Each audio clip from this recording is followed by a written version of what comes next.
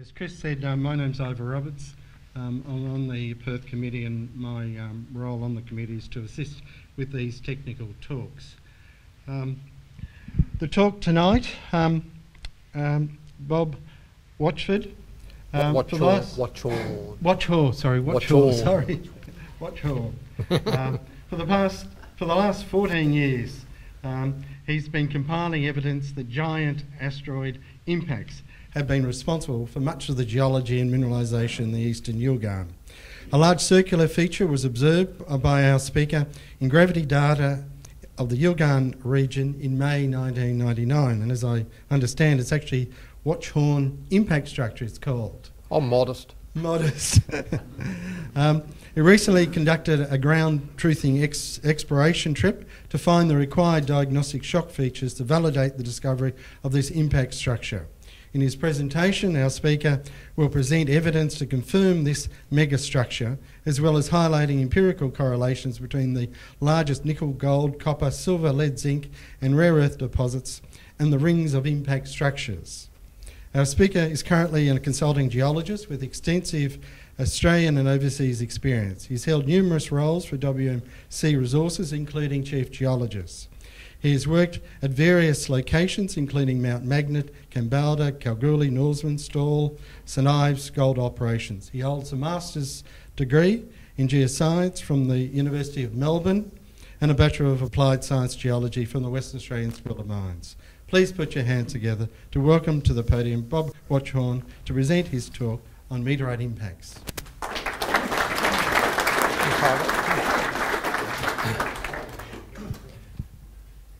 I I don't think any. I've got a couple of lakes na- named after me, um, and I reckon if I get a meteorite impact named after me, no one else is going to name it after me, so I'll name it myself. I'll, when I'm up there, I'll know that I've left with a big bang. Um, just in terms of, I don't think people realise how. Um, well, I think it's. Uh, meteorite impacts, when you look through the geological literature on um, anything you care to um, study, they don't rate a mention. They are starting to get a little bit of a mention, but uh, I was looking for stuff on metallurgy, um, just straight geology, and they don't rate a mention. I think that's because of the old uh, uniformitarianism versus uh, catastrophic uh, clash that was probably 50, 60 years ago. So all of you guys, I'm sure, are all uniformitarianisms and things happen gradually and the gold and everything comes up from underground and by whatever method. And I'm just proposing another method and I've got the proof right there that they happen and that they're 600, 500 and 600 kilometres in diameter.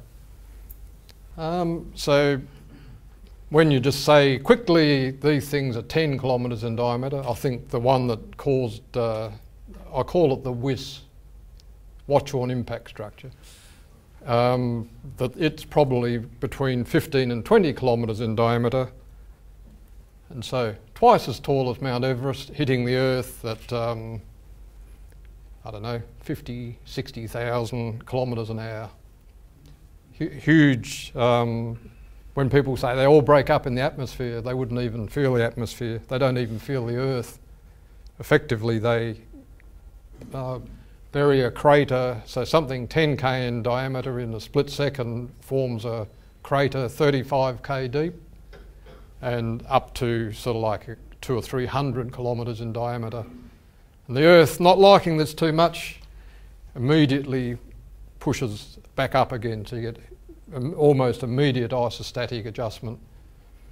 And uh, I think the problem that's happened is that people study craters on the moon, solid rock, study them on Mars, solid rock.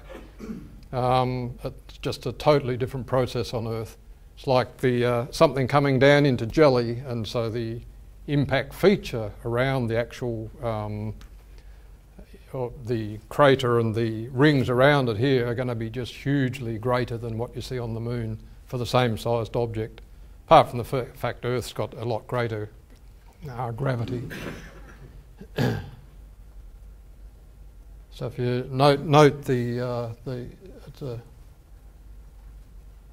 the uh, moho on the proper big craters always is buckling up underneath. So you end up with a lot of domes rather than a lot of craters. Um, there's two or three really major impacts in the world. Uh, Chicxulub, the uh, one that knocked off the dinosaurs, and uh, Vredefort, 300k, Sudbury, 250k. Um, this is like, I think, a fairly recent um, world gravity from satellite. My eyes fell out of my head when this popped up on the screen. Uh, so that's uh, Chicxulub. So the actual recorded size of Chicxulub is that little yellow thing in the middle. And these, uh, th those big white circles around, they can only be from that impact. And the, and the Gulf of Mexico is uh, the shape, exact shape of the uh, crater. Uh, that's uh, six, that's over a thousand k in diameter.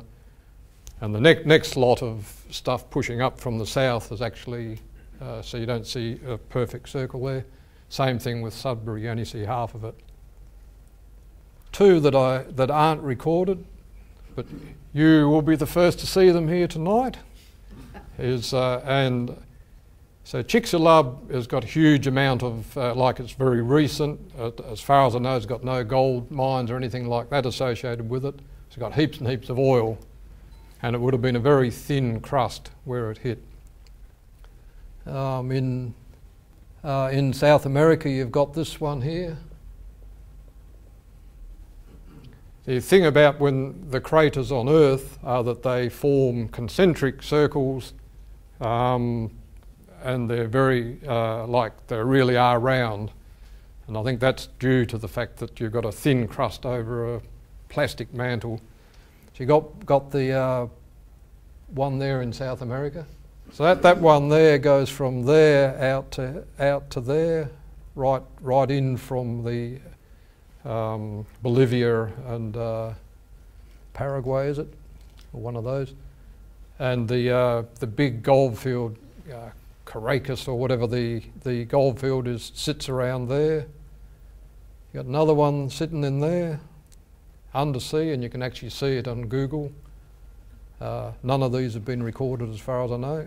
Um, and there's uh, all the um, Minas Gerais, is it? Uh, gold mines all sit around there, and you can actually see the the arc in there. Good old South Africa, world's biggest producer. The Vredefort crater is that little yellow one, 300k in diameter. Doesn't even rate a mention when it comes to the other, the, the big circle that's there, which is this one here that goes right around there. That's over a thousand k in diameter. And I did notice uh, um, uh, posting on a blog or something from a satellite where they actually have seen, and I can find I, every one of these ones I've looked on Google Earth and I can find the centre, and they're all the same. There are probably a 10k ring of heaps and heaps of granites with a, centred around the impact, and that's the same with the one I've found. So I'm sort of building up a list of things that you need to to identify a crater on Earth. And I've also built up a list of where you go to find these um, shatter cones that I've got here. There's also another big one on the uh, south end of Madagascar. I'm not quite sure what that is. It doesn't look quite right. It Hasn't got the rings around it. Good old Olympic Dam. I'll tell you what, there's a huge uh, impact centred around between, uh, so if you take a point midway between Prominent Hill and Olympic Dam, uh, there's uh, another one of these uh, five, 10 kilometre circles with all the granite sitting there. And the 300 metres or whatever it is of sediment that the Olympic Dam's in forms a beautiful circle around one third of it. Uh, no doubt whatsoever that's, an, that's a big impact. Uh, now this one here has just been found last year. Much to my disappointment, I was hoping to be the first one to find it. I'll show you that one right at the end. But um, uh, Andrew Glikson, uh, saw his name mentioned there, so a very helpful man is Andrew. Uh, so when I first um, well, I'd found the impact and I was doing fly in, fly out up at Gidgee Mine and I thought, nothing to do at night obviously apart from drink beer so I started putting a lot of this stuff together and people kept talking about all these spherulite layers in the uh, Hamersley Iron Basin. And they couldn't find the impact or they couldn't find the earlier impacts. And I think I've found the earlier impact. So the actual Hamersley Iron Basins actually sit in this crater, half of this crater. There's another one over there, which has once again got all the uh, all the granites right around it in a circular sort of arrangement and there's actually, um, uh, I think, goat something or other, paddock or something up there that's actually um, uh, shattered. Uh, I think it's shock quartz. So that'll probably be my next trip north. I'll go across those ones and see, see what I can find. But you can see once again, even though half of them will be out under the sea, you can see these uh, circular arrangement of the uh, the rings. They're fairly subtle, but the fact that they go right through something that's as geologically complex as that means that they're, they're the last thing that happened there. So they're younger than uh, 2.5, which is about when the um, sediment started. Uh, is the only confirmed impact, of any dimension anyway, on the Yilgarn. Uh, there's many, many circular features uh, just a query, how many circular features do you think uh, you, you would find like on the Yilgarn that are greater than 100k? Off the top of your head? 10, righto. Um, there's some up to 600k. Not saying that they're impact structures, but they've got all the features of this impact structure. Uh, su supposedly one impact over 20 kilometres diameter every million years. And if you take the area of the Yilgarn, which I did, and uh, uh, um, tally them up over the last 2.6 billion, you should end up with 22 craters there. Um, so Yarrabubba's there, somewhere around there.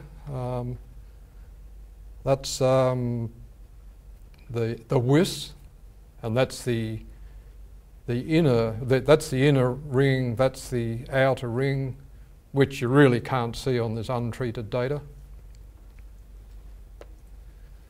this is um, just uh, the Bouguer gravity of the Yilgarn unfortunately I drew on it and haven't got a blankie but you can actually see you can see it clear actually so that's Meekatharra down to Mount Magnet down around and back up there just bear with me with this because it probably sounds like bullshit at this at this uh, at this moment. But uh, and th this is the because it's untreated gravity data, but you can still see it in it, and you can track them around there, and that's the centre. This one here, it just leapt out at me when I saw the this data. And that's huge.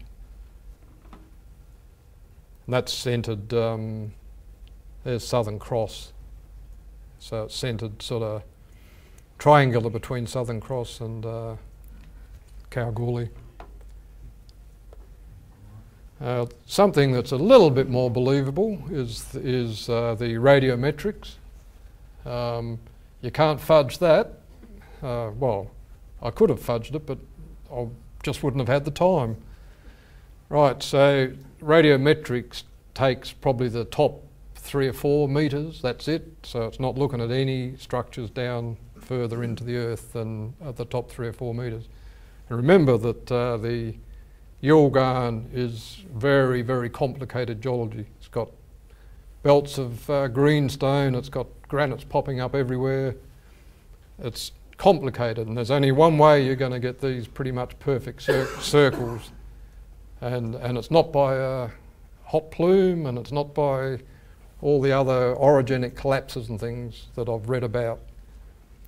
Really, the only thing that can give something that size, with all the features of the big ones that have been, that have actually been proved to be um, craters, is, is an impact structure. There's actually 20 there. Uh, now, down here, the, these are actually the rivers. Oh, sorry, I would have been in the tertiary. They're the rivers. The rivers on the Yilgarn follow the rings. I've often wondered why the darn things, they, they just keep going around in great big circles. This one here goes right over the top of the Albany Fraser belt, goes right around. There's a whole series of them around there with Norseman right at the centre, so there's been a big impact right near Norseman. The new, uh, we'll go to the next D. Nova um, Bollinger sits right there. There's a big impact just south of Nova Bollinger which postdates the, um, the Albany Fraser zone, so I'm not quite sure. Maybe Jens can tell me about uh, what he thinks of uh, how what age he thinks no, the um, new ore there is compared to the uh, the Albany Fraser zone. But if it's got anything to do with these impacts, it's going to be a lot later. Um, got once again, you got Norseman sitting in here. You got uh, the big ring that sits right around here. You've got uh, Kalgoorlie, Coolgardie, right around to the nickel mines down here. You've got a big ring there with Kambalda on it. Don't ask me how this happens, but they sit on it. They're not the cause of it, because obviously Kambalda was heaps before that ring because it goes right over there. I don't know why um, there's just a lot of unanswered questions, and it goes right down to the Lake Johnson mines I drove past heaps and heaps of times working at Norseman the last six months. So I think people have got to think a little bit wider than just a stratigraphic model for Kambalda. I think they've got to think a little bit, a lot uh, wider than the various things that they, where they think the gold mines are, why they think the gold mines are where they are. And you, once again, you can't fudge this data. This is just the, the raw geology of WA, like little pixels of what the raw, raw geology is. There's no doubt that there's some big rings there, and, uh, and they sit. This ring here is actually another one.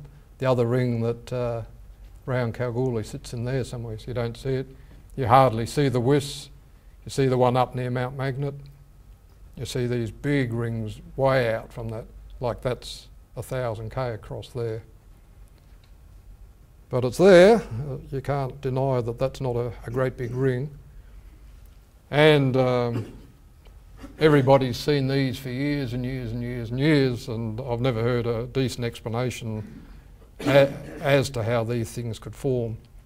But when you combine the, uh, the geology data, the uh, geophysical data, and the radiometric data, as far as I'm concerned, uh, probably 80% sure that they're big impacts.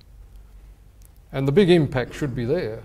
I mean, people have been looking for things about 20, 30k in diameter, and, uh, and there are 20, 30k diameter rings there, but the actual outer rings go for hundreds of kilometres on Earth as opposed to tens and up to 100k on the moon, except for a couple of big ones.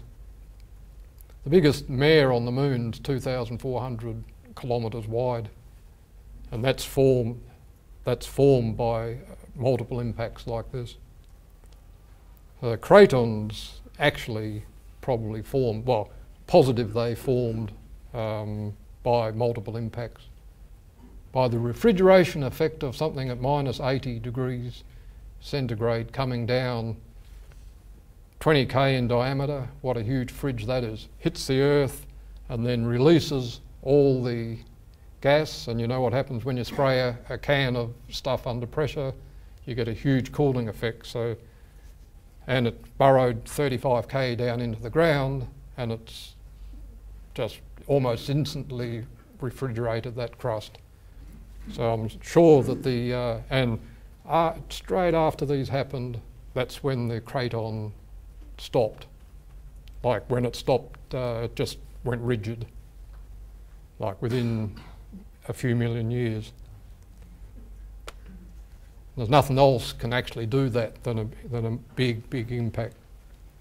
So crust forming events, um, nobody can, they've tried all sorts of th- ways to explain uh, the huge crust forming events in the Yilgarn in particular.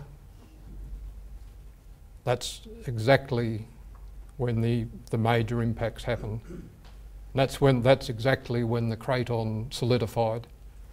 I guess if you go along a little bit further, that's the, the next lot.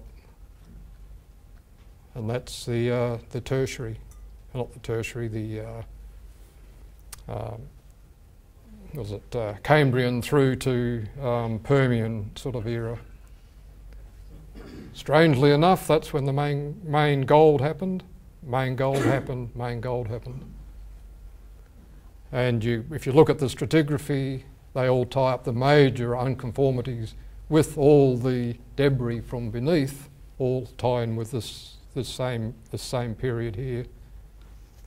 Except that the down the bottom under Kambalda or under the between the lower lot of greenstones and the top lot of greenstones, that's your 2.7, 2.75 impact that was up in the Pilbara that's been found by the spherulite beds.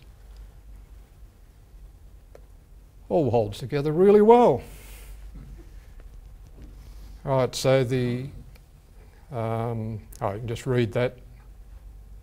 I estimate it's about 2.64 um, billion years in age by the fact that it's uh, cut by the east-west Proterozoic dikes. It cuts the granites which are 2.66 to 2.68, uh, 2.65 to 2.68, and it uh, predates the gold mineralisation which is 2.3ish to 2. Uh, this was the one that started it. Um, actually uh, found that while I was actually looking for um, uh, well, why the gold deposits actually came into the uh, eastern goldfields. And I was trying different ways of looking at the geophysics to try and look down, down through the layers.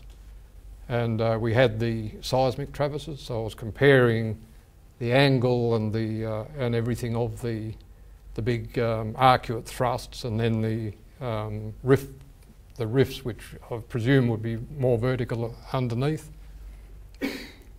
so I sort of studied it, and um, effectively that, that's the 250k diameter ring. The, that's the middle one. There's another one over there. There's some dis, uh, dismembered ones down near Kalgoorlie, and they're earlier, which which actually makes a lot of sense. Um, this one here, I think, is the most telling. Um, basically, all, all, I did was get a first horizontal um, uh, of the gravity, then I twid, twiddled the little thing on ER mapper on the uh, left-hand side until I got the got it, got the uh, lower um, register or the low, lower wavelengths to actually come up um, so that you could see them. Well, I'll put it this way: I've never seen even now, and, and actually uh, did this, I gave this talk to the WMC geophysicists, sort of stirring them a little bit, say, look, look outside, whatever you, because at that time all they ever used gravity for, all they ever had with gravity was contours. And I said, how come you do all this stuff with mags and you never do it with gravity?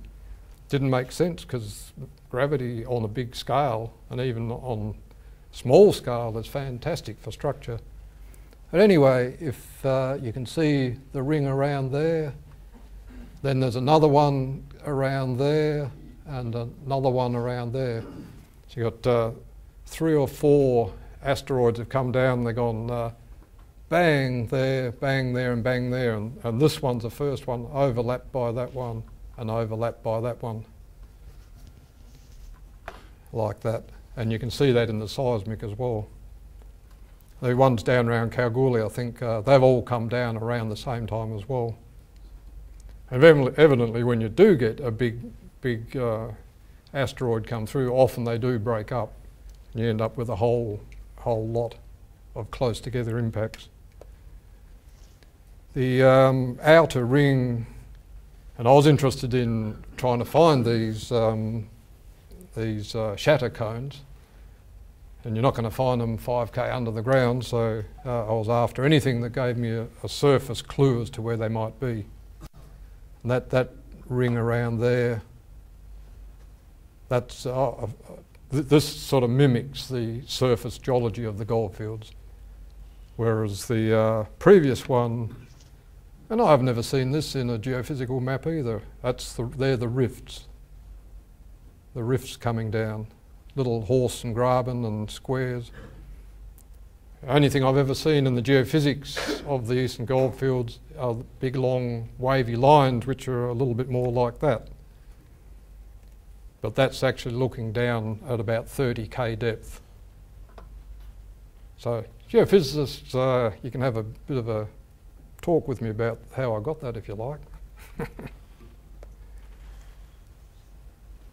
Steve? They're very quiet, re- retiring people. Righto, this is. Um, so that, that section there is, is actually the rings, sort of tilted over. This is so this is the big traverse that goes from uh, well, goes all the way from Mount Magnet area along down the highway and way out to Mount Yee or Lake Yee or something way off to the east. Um, might be my imagination, but there's a circle there. There's another circle there with another ring, ring around it. Once again, I'm just pointing things out. I'm not quite sure how in the heck it would actually do it, uh, you know, how, how it happens. All I know is that we'll produce a great big trough and then the earth produces a great big dome. So to me, that's what they look like.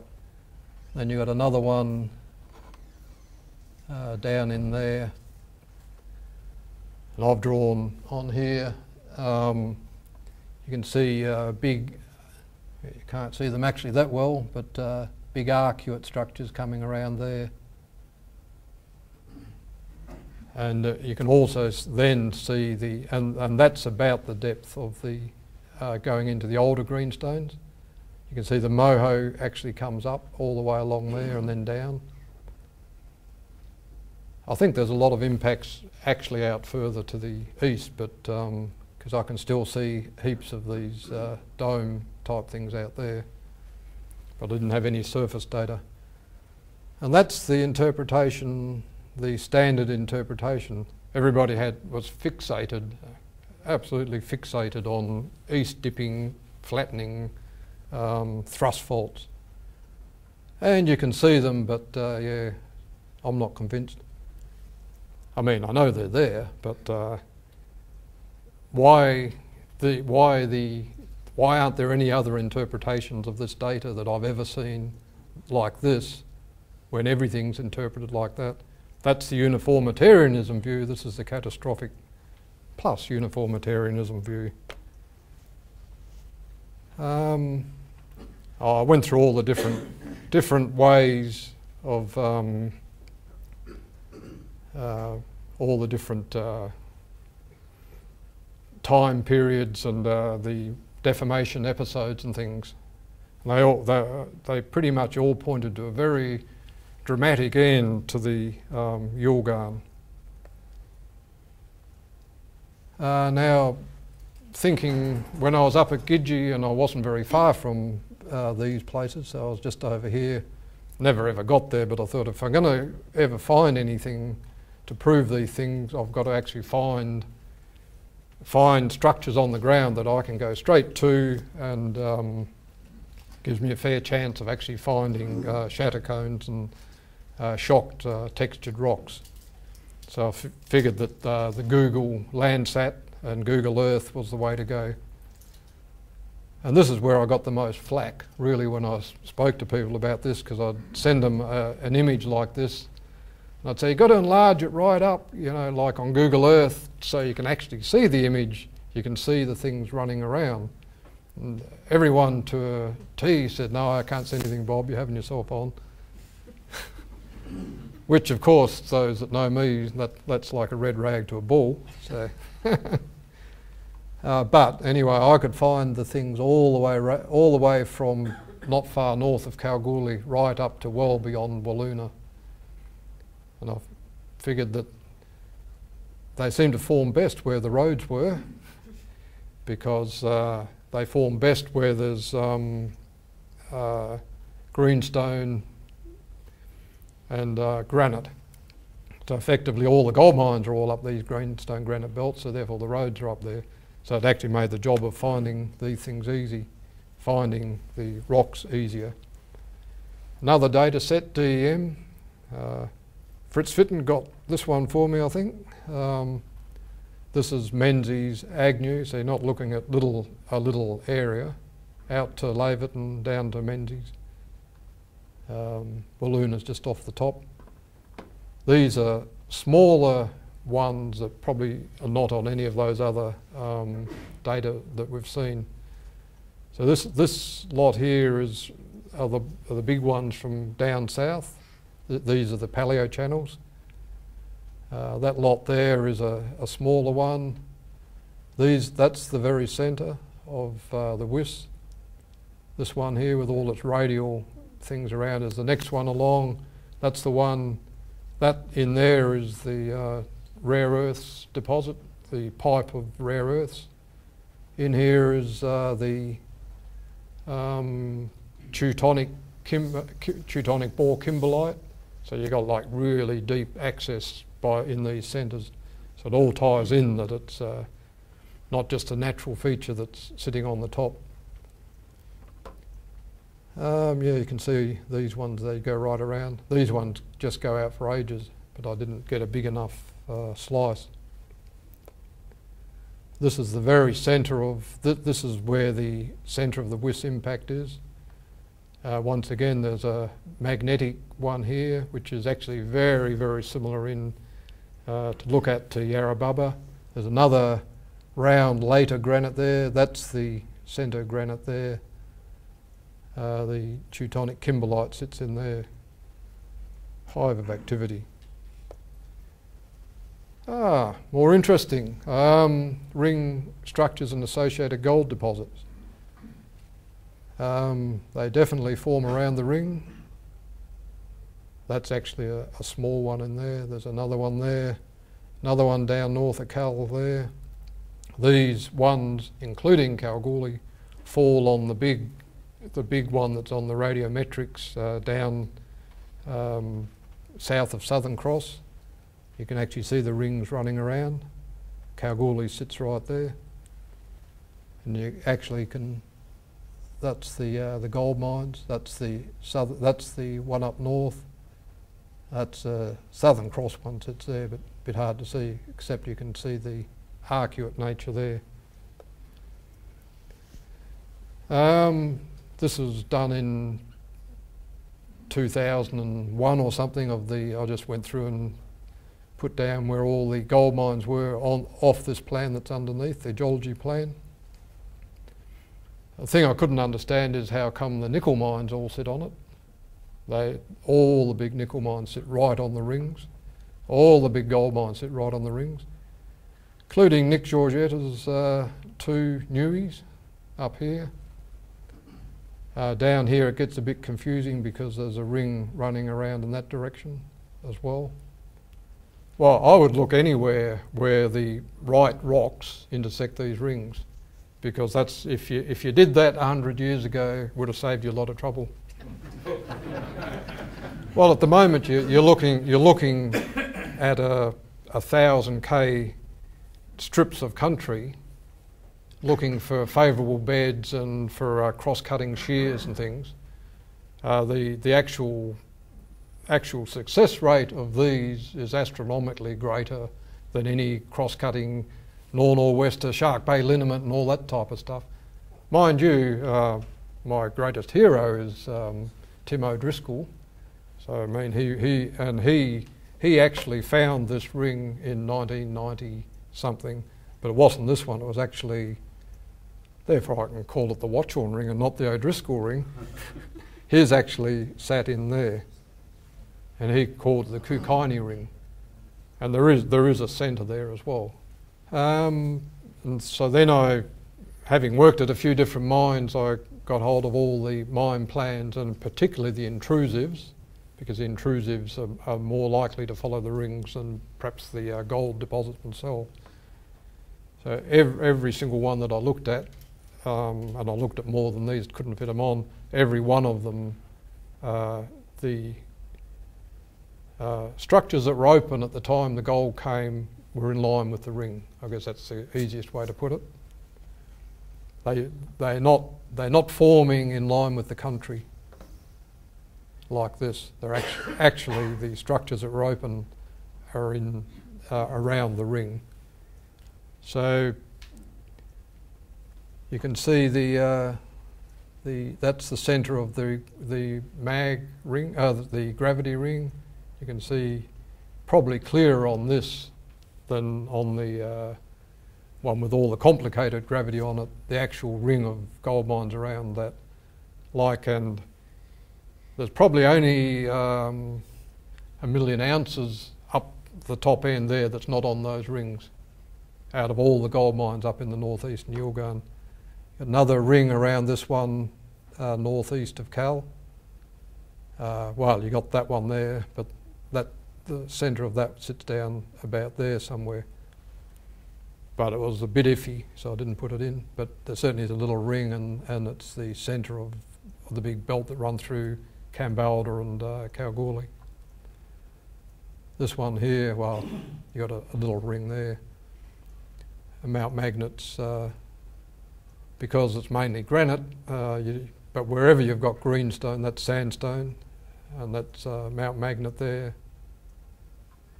Wherever you've got greenstone, where the gold mines are, are on a ring. So the, and these are straight out of um, a Blewett or someone's uh, paper. Um, these two next uh, seismic sections. Um, so the Wall- Wallaby mine sits in about here somewhere. It sits just in from the, uh, pretty much on the on the influence of two of this this uh, crater here, centred on Laverton, and the outer ring of the Watchorn one. and uh, you, actually it's a lot harder to see these things if you've got them in uh, up. So I've reduced it up into the corner, and you can see the actual uh, outline of big, um, well, a lot fainter but very, uh, very sharp uh, cutting structures that cut all the uh, the big arcuate faults that dip to the east. I think the later theory, or maybe one of the later theories, is about the uh, gold forming on domes. Well, I can see exactly why that dome's there, because this lot's been pushed down by an impact. And uh, good old St Ives, Victory Mine, and um, same thing. If you go back uh, back to there, Vic- Victory sits in there and uh, there's a very dissected crater in there, but there's also the big one that's on the um, one of the outer rings of that big one that sits down near Lake uh, west of Lake Johnston. Once again, I mean, you can argue what are they, but they, the thing is they do fit where a ring should be. Uh, there's a huge, and, and one thing about uh, these impacts is they form just uh, hugely micro fractured and main fractured country is that there's big, big zones of totally fractured country sitting in exactly the right direction, all up through here, all up through there. Which, um, and, and like it's done wonderful things to the geology, as you would expect, because this is, this is in the collapse area the, this lot here has probably collapsed down from their big circular failure, which is what happens to the outside of these craters. And uh, the theory of uh, stacked domes, big ones going to smaller ones, and then a gold mine at the top, is correct when you look at these. But I'm just saying that it's not it's not due to uh, just warping of the country and uh, over, over thrusting of uh, eastern plates over the western ones. Some of them probably are, but the big gold mines are right on the rings. And I'm sure if you look at the seismic of all of the big gold mines, you'll find that that's probably the same. I just got two of them. Better keep pressing on. Um, I've copped the most flack, uh, and deservedly so, um, by saying all this stuff without actually proving that anything I, I, say is actually correct with what they call prima facie evidence. Um, so prima facie evidence is uh, rocks that in, or and other geological things that include shock free features in quartz. And take my word for it, that's them. Just um, they're absolutely textbook um, shatter cones. A little bit straight, a lot straighter than you ones you see, generally see which people have got from the Earth because they've got them from small uh, impacts that are near the surface. And uh, they get the cone actually gets uh, straighter the deeper you go because it's under isostatic pressure. And also rocks that have got uh, weird and wonderful um, uh, spherulites and, and glassy quartz and a sort of a waxy um, feldspar um, uh, ground mass, and they're exactly the same as uh, ones that, uh, that I've looked up. Like when I went to find these things, uh, the only picture I, would ever seen of a shatter cone was like this. And uh, we didn't find any of them until we were about three in, so I wasn't really quite sure what I was looking for. So there's probably a lot more of them up there than what I've found. So there, there's our uh, luxury vehicles, complete with dog. So we actually plan, planned the route up, and then we went off out in out on the tracks to get round to these ones, and then back in and up to Wiluna, which is just up here. And we found uh, the so the yellow ones is where we found the structures. Down here we found the rings, but we couldn't find any quartz or anything on them, and we didn't have a clue really what we were looking for anyway. But once we got our eye in, uh, my wife Val, she was a fantastic little scout. I can tell you, she found heaps more than I did.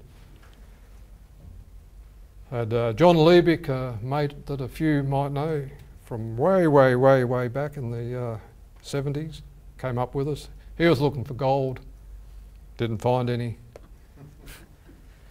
So this is uh, like because I've run out of time, I'm going to just go really quickly through this. So that, that's what I found uh, as a, a, melt, like a spherulite rock, and that's uh, the same rock, well, the same grains uh, from Chicxulub. That's a, a, really vitreous, glassy rock with heaps and heaps of little little glass needles in it, which you like. You don't just don't find that in quartz. You get glassy quartz, but you don't get glassy quartz with little needles all through it. Huge pressure and temperature. And while I haven't cut a thinny of that to see if it looks like that, I can tell that if I did, it would, because you can see all the little, uh, the little, uh, the quartz that go along the uh, little striations, I guess they'd be called. Once again, th these are from various places around the world. That's the one that I found there. That's uh, one from a place in Bavaria. Uh, this is a, a, melt rock, and that's the melt rock I just had there. And very noticeable, the, the actual um, laths and things, they form in uh, sort of circular arrangement, which you quite, I can't quite figure out how they do it, but it appears that the you get uh, growths of this and then they grow around it. This one down here is just a, a clastic rock, which is everything's been blown up in the air, everything falls down, and uh, so you got sorted. This is from um, France, and this is the same sort of thing. A lot of rounded ones, quite a lot of uh, lath-shaped ones. Uh, there's been at least two impacts because some of the shatter cones that I found they uh, went up and then turned 30 degrees and then went in the other direction. I figured there must have been more than one anyway because I couldn't quite figure out how you get instantaneous quartz on a ring that then is shocked. So I figured there's been, um, you've, you've had an impact, you've had the rings formed, you've had the quartz come up, then you've had another impact. In fact, you've had another two impacts in this case. That's that same one. And the, the typical thing about them is that they're all glassy and they're all different colours because they're just quartz or rock that's been melted into quartz and then uh, just deposited. So you get all different coloured clasts. Very uh, typical. Centre of the um, ring is, uh, as you from that magnetic one earlier is just a contorted granite, so I didn't expect to find anything there, and we didn't. Lovely spot though. The terrace is just up from Leonora. Uh, in situ shatter cones up on the Agnew ring, so about um, 15k north of the um, Agnew turnoff uh, on, on the way to Wiluna. You can actually see them sitting in there. See other ones that have uh, everything's on the side of a hill, but these ones are actually in situ. You can actually see the uh, um, everywhere with these things you see curved surfaces. That's um, the shatter cones sitting on the ground. So I didn't buy them on the net. Would have cost too much. While there'd be some unscrupulous people would, I'm sure. $35 each. I wasn't going to pay that amount for them. Um, this is a like a textbook shatter cone. In fact, it's better than anything I've seen in a textbook. Uh, rods uh, slightly splaying in both directions. You can see the cones uh, sitting in, sort of like this, all around. They, they get holes through them. I think, I guess, blasting of air or something through them, smooth sided holes through them. And I've never seen that recorded in anything to do with them, but I'm sure it has been. Um, also, in this case, there's a on the other end here. There's actually a, a shatter cone that's uh, developed in the other direction at right angles to this. Everyone's looking at their watches. That's uh, Mount Keith. Uh, so you're up another um, 50k shatter cones on the ground and uh, shattered quartz. And that heads straight for the guts of the Mount Keith pit. So th- this is out here, and you've got these big structures across the Mount Keith pit. And yet Mount Keith is right on the ring. So work that one out. And Mount Keith is actually an intrusive uh, sill. It's not actually, it, it is later than the uh, surrounding ultramafics. 2710, 2.71 billion years old. This is in situ shatter cones, which are um, uh, these sort, all sitting in a big rows. Uh, and this this is uh, is the felsic rock that's up in the uh, up here which doesn't look anywhere near as good once I washed it. a bit of a silly thing to do. I wasn't going to go back and get another one. That's sort of proof, like uh, that. Um, well, it's not a made-up story that I've just got these rocks. They're actually in situ.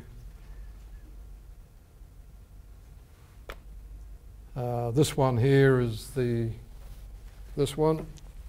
Uh, the the uh, that one there.